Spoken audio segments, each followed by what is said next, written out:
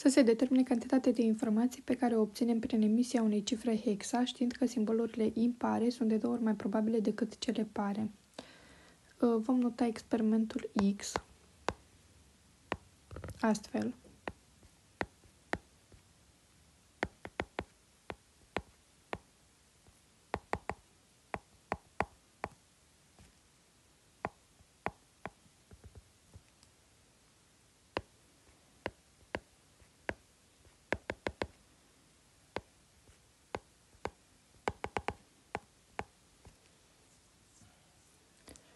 Determinăm mai întâi uh, repartiția după următoarea formulă.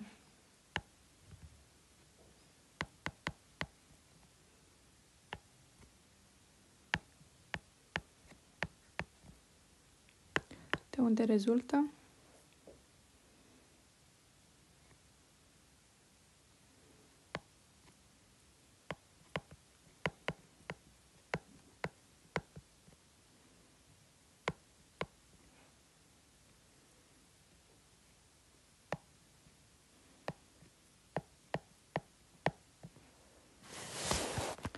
După ce am uh, determinat repartiția, vom aplica formula lui Shannon.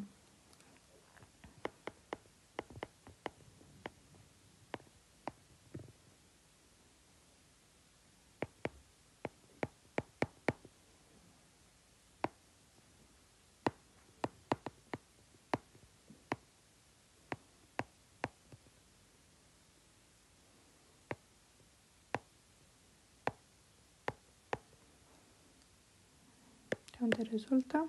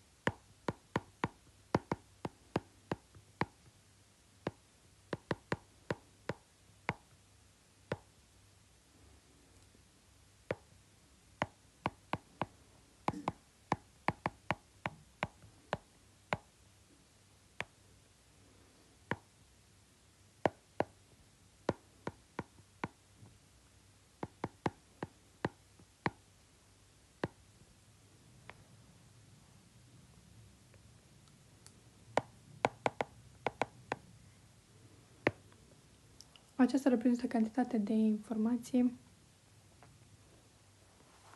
uh, pe care o obținem prin uh, emisia unei cifre hexa, știind că simbolurile impare au fost de două ori mai probabile decât uh, cele pare.